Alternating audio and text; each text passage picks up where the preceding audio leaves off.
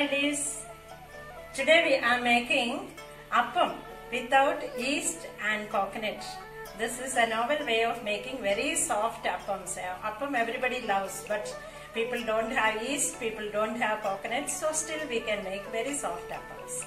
For that, the ingredients are I am using here 250 grams of uh, rice and this is raw rice this is to be soaked and 1 tablespoon of urad dal this is to be soaked for for 5 hours.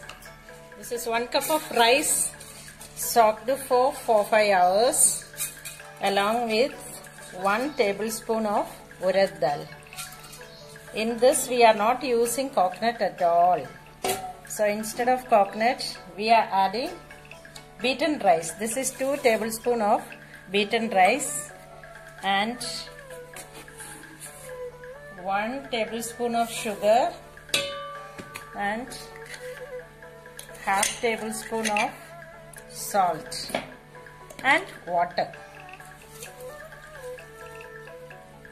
Half glass of water. We'll grind and keep for fermentation.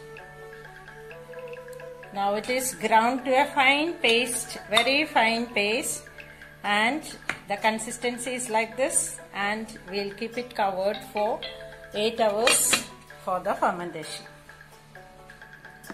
After 6 hours you can see the atta has fermented very well. This is the appam atta we, which we have ground and kept without yeast or coconut now we have to make the appams. Now we'll make the, this is the special kadai for making appam. This is cast iron.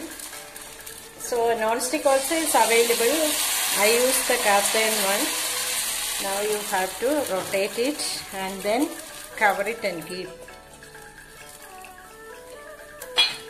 See our appam has come out very well and this is very soft and of course I just want to, I just want to tell you another method of making. Those who don't have this appam making kadai so you just take one non-stick and just apply little oil.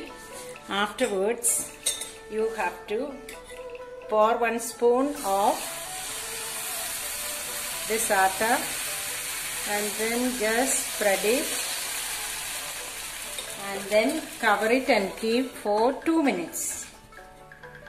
These are the appams which I made with our coconut and yeast and it has become very soft. You can see that it is very soft appam and this is made in the kadai and this is made in a non-stick tawa. Okay, so don't worry those who don't have uh, special appam kadai you can make even in any non-stick the kadai or any non-stick pan.